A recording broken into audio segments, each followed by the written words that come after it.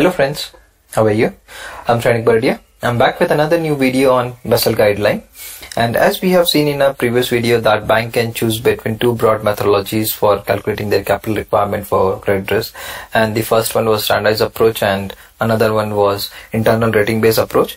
And under standardized approach, bank assign a standardized risk weight based on external rating against each exposure but the capital requirement differ for each asset class under standardized approach. So today we will discuss various asset class given under Basel guideline for standardized approach.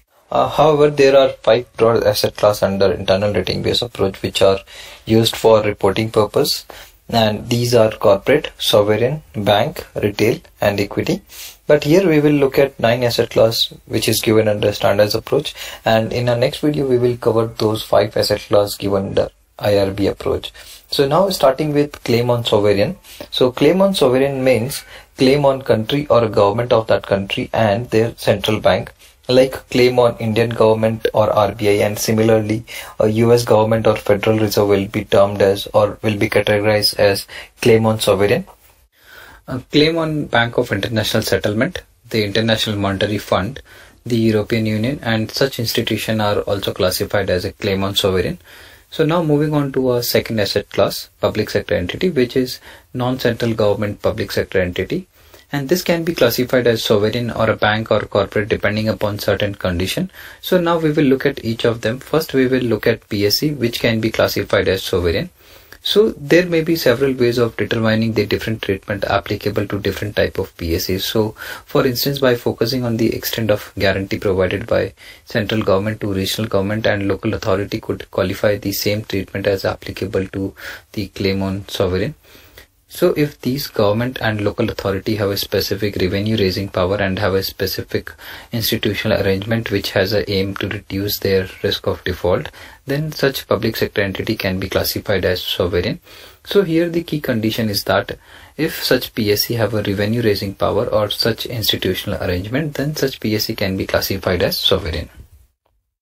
Now we will look at those conditions under which PSE can be classified as bank. So any administrative body responsible to central government or regional government and which is owned by the government or local authority may not be treated as a claim on this sovereign if those entities do not have revenue raising power or other institutional arrangement as we have discussed previously.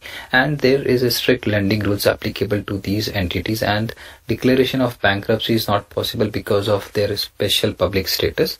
So then in such case this entity can be treated as a claim on bank. And here the key condition is that if PSE do not have revenue raising power and have a strict lending rules and declaration of bankruptcy is not possible because of their special public status, then in such case public sector entity can be classified as bank. Now we will look at conditions under which PSE can be classified as corporate.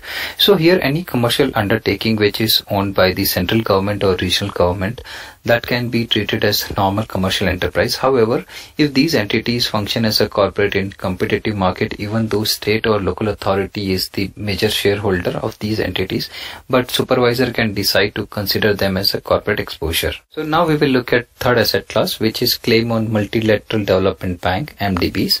So MDBs are an international financial institution chartered by two or more countries for the purpose of encouraging economic development in the poorer nation.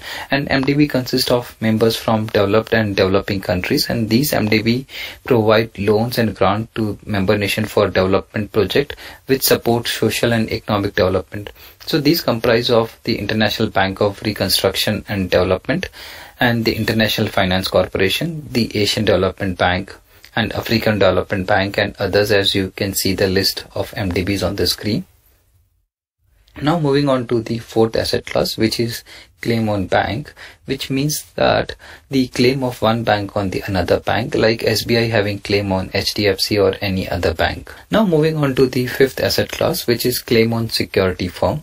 Similar to public sector entity here also claim on security firm can be classified as bank or corporate depending upon certain condition. So first we will look at condition where the security firm can be classified as bank. So claim on security firm may be treated as a claim on bank provided these firms are subject to supervisory and regulatory capital requirement that are as comparable as applied to the bank which means that any security firm which are as regulated as bank then such security firm can be classified as bank and if these conditions are not satisfied then such security firm will be classified as corporate. So now moving on to sixth asset class which is claim on corporate. So in general a corporate exposure is defined as debt obligation of a corporation or a partnership firm or a proprietorship firm which includes claim on insurance companies and banks are permitted to distinguish exposure to SMEs now moving on to seventh asset class which is retail portfolio.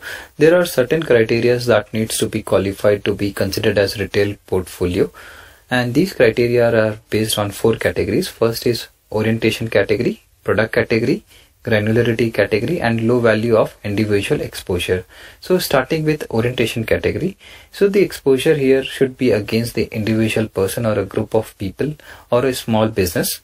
And the second is product criteria. Product which can be classified as retail exposure can be any of the following like revolving credit, letter of credit, credit card, overdraft facility or educational loan or personal loan.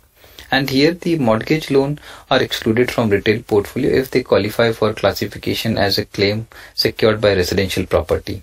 And third criteria is granularity criteria. And here the national supervisor must be satisfied that regulatory retail portfolio is sufficiently diversified to the degree that reduces the risk within the portfolio. And one way of achieving this is by setting a numerical limit. And here no aggregate exposure to one counterparty can exceed 0.2% of overall retail portfolio. And here the aggregated exposure means the gross exposure amount of all form of debt exposure that individually satisfy the other three criteria without considering credit risk mitigation. And the fourth criteria is low value of individual exposure and the maximum aggregate retail exposure to one counterparty cannot exceed an absolute threshold of 1 million. Now moving on to eighth asset class which is claim secured by residential property. So here any loan which is fully secured by mortgage on residential property whether it's occupied by the borrower or that is rented will be classified as a claim secured by residential property. Now moving on to the last asset class which is claim secured by commercial real estate and this is very much similar to residential property. So here loan which is fully secured by mortgage on commercial property whether this is occupied by the borrower or is rented will be classified as claim secured by commercial real estate and here committee has experience in numerous countries that the commercial property lending has been a recurring cause of trouble asset in the banking industry over the past few decades. And now here we have come to the end of our video and I hope this has helped you to understand the asset class classification given under standardized approach in Basel guideline. And if you think this can help others, then please share with your friends and colleagues. Please subscribe to this channel for more update on Basel guideline and provide your feedback in the comment section below. Thanks for watching and God bless you all.